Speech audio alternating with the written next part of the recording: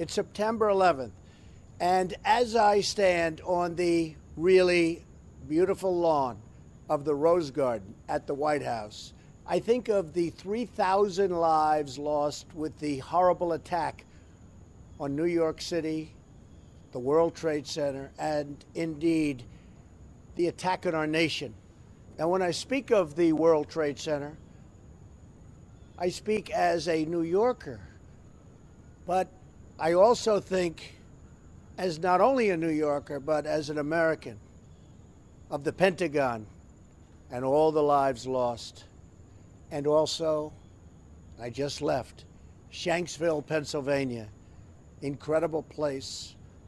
And these were really great, great heroes that fought so hard that the plane didn't do damage to either the White House or the Capitol or wherever it was headed. So, whether it's Shanksville or the Pentagon or the World Trade Center, these were 3,000 incredible people.